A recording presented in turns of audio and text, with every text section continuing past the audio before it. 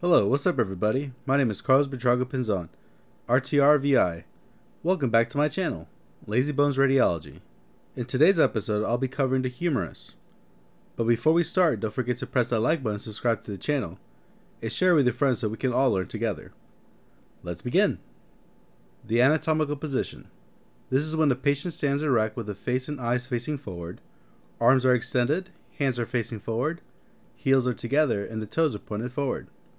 Also known as the neutral position, do not forget it. The following definitions were gathered from Merrill's Atlas of Radiographic Positioning Procedures. This is a series that I used when I was a student, so I highly recommend it. Before we jump into the positioning, let's review the anatomy of the humerus. The humerus is the long bone that makes up the framework of the arm. This long bone is between two types of joints.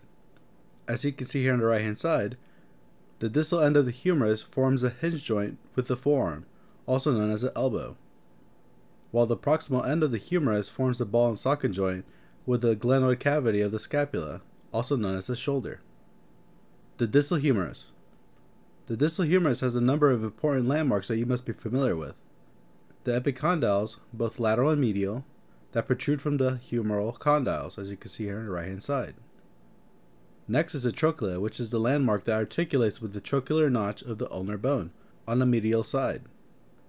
Medial to the trochlea is the ulnar sulcus. This is where the ulnar nerve passes through, as you can see here on the right hand side. Next is the capitulum, which is a landmark that articulates with the radial head on the lateral side. Continuing to the distal humerus, in the anterior surface, superior to the trochlea, there is a depression known as the coronoid fossa. This is where the coronoid process from the ulna articulates with the humerus when the elbow is flexed. Lateral to the coronoid fossa, there is another depression known as the radial fossa. This is where the radial head articulates with the humerus when the arm is flexed and the radius rotates when the hand pronates and supinates. Medial to, on the posterior side superior to the trochlea, there is another depression known as the olecranon fossa. This is where the olecranon process of the ulnar bone articulates with the arm when it is fully extended, unless you're double jointed. Lastly, the body of the humerus. This is the long cylindrical part of the humerus that makes up the majority of the bone. Now we'll continue with the proximal humerus. The humeral head. This is where the humerus articulates with the glenoid fossa, forming the ball and socket joint with the shoulder. This is the most superior or proximal part of the humerus. Distal to the humeral head is the anatomical neck of the humerus. Next, moving laterally, we are able to visualize the greater tubercle of the humerus. Moving anterior, we are able to visualize the lesser tubercle.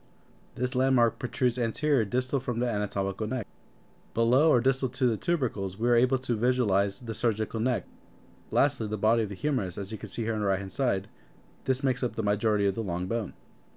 It is very important not to confuse both of the humeral necks and the tubercles. Note the difference between the anatomical and the surgical necks, and the greater and the lesser tubercles. Please make sure that you review and be knowledgeable with anatomy, because knowing your anatomy is very important for the positioning part. The AP projection. Position of the patient is upright, as you can see here on the right hand side. Position of the part. Abducted arm and the posterior surface of the arm is against the IR. Hand is supinated until the epicondyles of the humerus are parallel with the IR. It is very important that you check the epicondyles to prevent any type of rotation, as you can see here on the right hand side. Rays perpendicular to the mid body of the humerus. Make sure to collimate the entire humerus from the proximal radius and ulna to the lateral aspect of the scapula. SID is 40 inches. And remember to label correctly. Now let's practice. What are we imaging? This is the left humerus. What is a projection? This is an AP projection. What is the position? Hand is supinated with lateral rotation. Remember to check your epicondyles. Do not forget. Now let's practice your anatomy. The radius, which is always on the lateral side. The ulna, medial side. The medial epicondyle. The capitulum, which is always on top of the radial head. The trochlea, always on top of the trochlear notch. The ulnar sulcus the humeral body, the greater tubercle, the humeral head, the anatomical neck, and the surgical neck. The lateral projection, lateral medial and medial lateral upright. Position of the patient, upright. As you can see here on the right hand side, the arm is abducted with the medial surface against the IR. Hand is medially rotated until the humeral epicondyles are perpendicular with the IR, as you can see here on the right hand side. Now, if a patient is unable to medially rotate the hand due to a broken humerus, the lateral side can be placed against the IR and the arm can be imaged from a medial lateral projection, as you can see here on the right hand side. Make sure to check your epicondyles to prevent any type of rotation. Center is perpendicular to the mid body of the humerus. As you can see here on the right hand side, this is a lateral medial projection, while this is a medial lateral projection. Do you see the difference between them? Make sure to collimate the entire humerus, including the proximal radius and ulna, and the lateral aspect of the scapula. SID is 40 inches, and remember to label correctly. Now let's practice. This is a lateral medial projection, while this is a medial lateral projection. Do you see the difference between both of the images? Let's look at the scapulas. One's AP and while the other one is lateral. By looking at the scapula, you're able to differentiate which one is a lateral medial projection and which one is a medial lateral projection. So make sure you understand the anatomy. Now let's practice. What are we imaging? This is the left humerus. What is a projection? This is a medial lateral projection. What is a position? Abducted arm with medial rotation. Remember to check your epicondyles. Now let's practice your anatomy. The radius, ulna, the epicondyles that are superimposed or perpendicular to the IR, the radial head, neck, and tuberosity, the olecranon process, the humeral body, the lesser tubercle, the humeral head, and the surgical neck. Please make sure that you review and be knowledgeable with these positions. The next section is going to be special projections and methods. The AP projection for trauma. Position of the patient is recumbent, as you can see here on the right hand side. Position of the part. Make sure to abduct the arm and the posterior surface of the arm is against the IR. The hand is supinated until the humeral epicondyles are parallel with the IR. So remember, check your epicondyles to prevent any type of rotation. Central is perpendicular to the mid body of the humerus. And make sure to collimate the entire humerus from the proximal radius and ulna to the lateral aspect of the scapula. SID is 40 inches. And remember to label correctly. Now let's practice. What are we imaging? This is the left humerus. What is the projection? This is an AP projection. What is the position? Hand is supine with lateral rotation. Remember to check your epicondyles to prevent any type of rotation. Now let's practice your anatomy again. Radius, which is always on the lateral side. The ulna, which is on the medial side. The medial epicondyle. The capitulum, which is always on top of the radial head. The trochlea, which is always on top of the trochlear notch. The ulnar sulcus. The humeral body. The greater tubercle. The humeral head the anatomical neck, and finally the surgical neck. The AP projection of the humerus should look exactly the same as if you were in upright position. This is just for a trauma situation, you have to adapt to the patient condition. So for a normal patient, you'll be able to do this projection upright. But in situations, for example, a trauma situation, or a patient is unable to stand, you're able to adapt and do it supine, as long as you know your anatomy you're able to adapt to the patient condition. The lateral projection, lateral medial recumbent. Position of the patient, recumbent. As you can see here on the right hand side, the arm is abducted and the medial surface of the arm is against the IR. The hand is medially rotated until the humeral epicondyles are perpendicular with the IR. Remember to check the epicondyles to prevent any type of rotation. Central is perpendicular to the mid body of the humerus, and make sure to collimate the entire humerus, including the proximal radius and ulna, and the lateral aspect of the scapula, as you can see here on the right hand side. SID is 40 inches, and remember to label correctly. Now let's practice.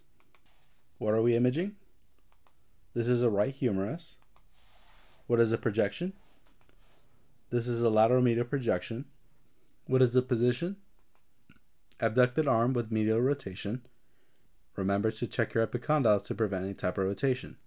Now let's practice your anatomy again. The radius, ulna, the epicondyles that are superimposed, the radial head, neck, and tuberosity, the olecranon process, the humeral body, the lesser tubercle, the humeral head, and finally the surgical neck. Lateral projection for the distal humerus this time. Lateral medial recumbent and lateral recumbent. Position of the patient, recumbent, or laying down. Position of the part, place the IR between the medial surface of the arm and the chest. As you can see here, we're capturing an image from the axillary to the distal humerus. Hand is medially rotated until the humeral epicondyles are perpendicular to the IR. Remember to check your epicondyles to prevent any type of rotation. Or if the person's supine, you're able to capture the distal humerus as you can see here on the right hand side. This position is called the lateral medial recumbent, while this is the lateral recumbent, which is a horizontal beam capturing the lateral humerus. For the lateral recumbent, it's important to support the arm using any type of pillows or blankets to support the arm and make sure your board is all the way up to the axillary part of the arm in order to visualize the most amount of the distal humerus. Center rays perpendicular to the mid body of the humerus, as you can see here on the right hand side. Collimate the entire distal humerus and the proximal radius and ulna. SID is 40 inches, and remember to label correctly. Now let's practice. What are we imaging? This is the right distal humerus. What is the projection? This is a lateral medial projection. What is the position? Lateral arm, or as is. Remember, this is for trauma situations.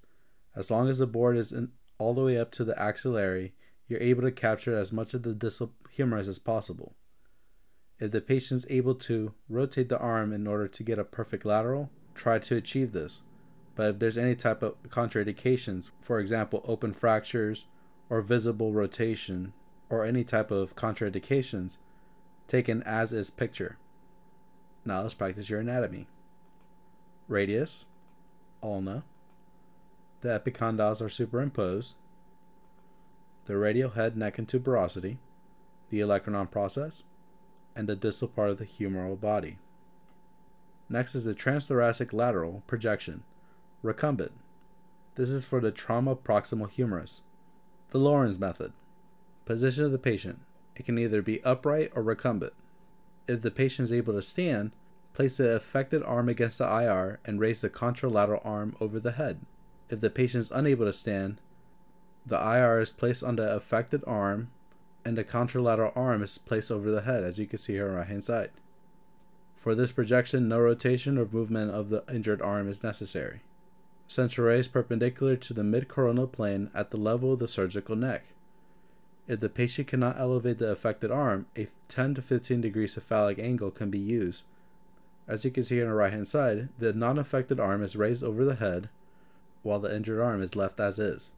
As you can see here, I marked the level of the surgical neck of the affected arm. This is where the central ray is going to be aligned with the arm. Now we're looking at it from a lateral perspective. We're at the level of the surgical neck and the central ray is perpendicular to the mid-axillary and the surgical neck planes. This is the centering for the Lawrence method. Make sure to collimate the entire proximal humerus to the mid-humeral body, as you can see here on the right hand side. SID is 40 inches, and remember to label correctly.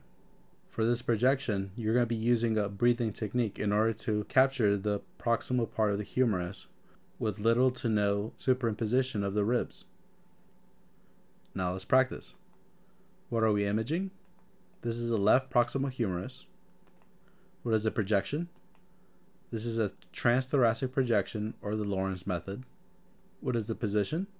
Affected arm is as is and the contralateral arm is abducted. Now let's practice your anatomy. Humeral body, the lesser tubercle, the greater tubercle, the humeral head, the anatomical neck, and lastly the surgical neck.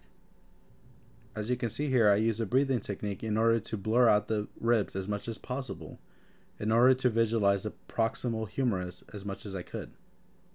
The distal humerus, PA axial projection, position of the patient, seated. This position is only used to visualize the distal structures of the humerus, mostly the ulnar sulcus, especially for the radiohumeral bursitis, also known as tennis elbow. Position of the part, arm is low enough on a surface so the posterior surface of the forearm is parallel with the IR. The elbow is flexed at a 75 degree angle Make sure to supinate the hand and lean the patient laterally to prevent any type of rotation. Remember to check your epicondyles. They have to be parallel with the IR. Central ray is perpendicular to the ulnar sulcus or medial to the olecranon process, as you can see here on the right hand side. Make sure to collimate the entire distal humerus and the proximal radius and ulna. SID is 40 inches, and remember to label correctly. Now let's practice your anatomy. The radius, including the radial head and the radial neck. Next is the humeral body, the medial epicondyle, the ulnar sulcus. This is where the ulnar nerve passes through, the trochlea, the lateral epicondyle, the capitulum, the olecranon process, and finally the olecranon fossa. Lastly, the olecranon process, PA axial projections. Position of the patient seated. This position is only used to visualize the distal structures of the humerus and the olecranon process free from superimposition. Here's another view of the distal humerus and the olecranon process, which we're going to be discussing in detail. Position of the part. Arm is low enough so the posterior surface of the forearm is parallel with the IR. This time the elbow is flexed at a 45 to 50 degree angle. Make sure to supinate the arm and lean the patient laterally to prevent any type of rotation. Remember to check your epicondyles. They must be parallel with the IR. For this projection, there's going to be two central ray projections, perpendicular to the olecranon process, and also a 20 degree towards the wrist to free the superimposition of the olecranon process, as you can see here on the right hand side. Make sure you collimate the entire distal humerus and the proximal radius and ulna. SID is 40 inches, and remember to label correctly. Now let's look at the difference between the projections. This is the perpendicular central ray, while this is the 20 degree cephalic central ray. Do you see the difference? For the perpendicular beam, we're able to visualize more of the structures of the distal humerus. While the 20 degree cephalic angle, we reduce the amount of superimposition of the olecranon process, and we're able to visualize its landmark entirely. I know this looks like a lot, but remember, you got this. Practice with your friends and family and your fellow classmates so you can improve your positioning skills. Also, try to work on your communication skills. Remember, for some patients, it's very hard to position if you are unable to communicate with them correctly. Remember, practice makes perfect. Practice, practice, practice. Review your anatomy and remember to take lots of notes. This concludes today's video. I hope you enjoyed the video. Remember to like and share and subscribe to the channel and share with your friends so we can all learn together. And also follow me on Instagram at lazybones underscore radiology. Thank you very much. You guys have a great day.